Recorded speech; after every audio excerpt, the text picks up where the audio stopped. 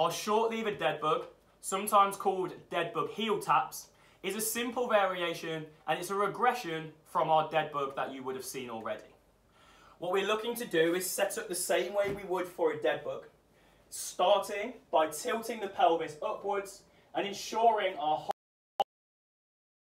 with the ground.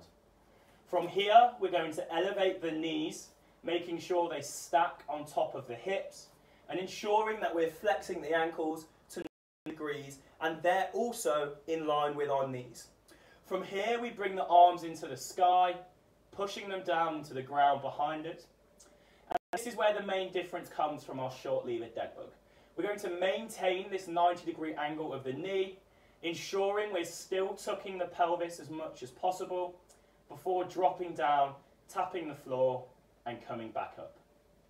Once you've mastered the lower body, bringing the arms.